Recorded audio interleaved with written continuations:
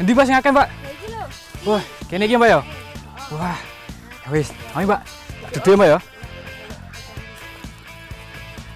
Sekarang kita lagi mau cari rebung untuk diolah. Nah, tapi nggak semua jenis rebung enak dimakan. Nah, yang kita cari itu yang pertumbuhannya terhambat seperti ini. Nah, ini yang enak dimakan. Duduk sampai ya. Rebung atau tunas bambu termasuk sayuran yang banyak disukai. Teksturnya renyah, rasanya manis, serta aromanya sangat khas. Ya.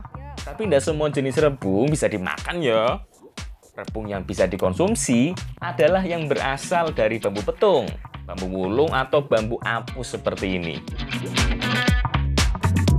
Ya. Oh iya, selain mencari rebung, aku dan Mbak Afra juga sekalian mencari daun pring yang masih muda.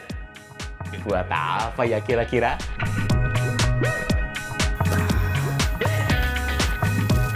Ini Mbak. Oh iya, iki nih. godongnya kan, Mbak? Wis oke. Nah, ini kita Mbak. Iki ki iso dipangan langsung ini ki. Oh. Cilian kumian kerep mangan ini.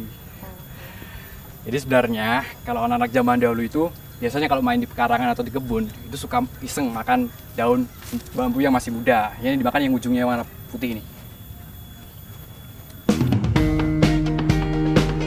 Wis akeh iki rebung dan godong pringnya. Yuk, Mbak Afra, kita olah lagi.